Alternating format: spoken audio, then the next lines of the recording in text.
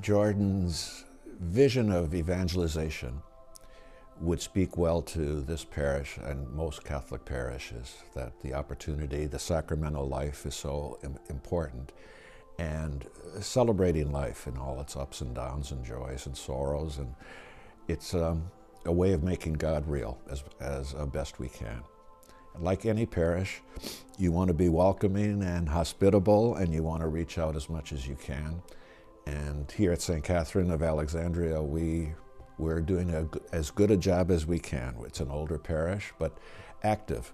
The head of St. Vincent de Paul, we have a food pantry that uh, every other Friday about 40 families come. And the guy who runs it is 90 years old, so he has to work on a successor. But active, active.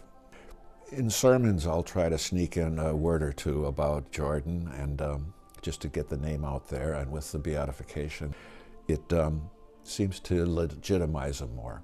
It makes it